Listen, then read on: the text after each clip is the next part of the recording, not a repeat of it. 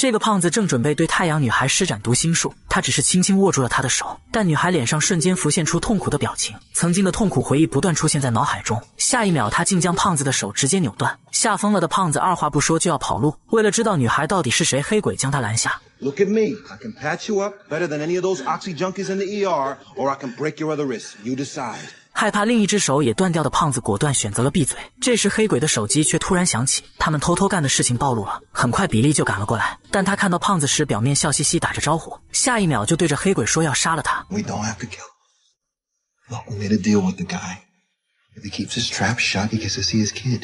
He's just a dad with his kid. 于是，比利打算先干正事。很快，胖子就开始了第二次尝试。有了第一次的经验，胖子很快就看到了女孩心中的画面。她是一名士兵，旗帜上有着太阳的图案。这话一出，比利瞬间知道了那是什么。You're dating a terrorist.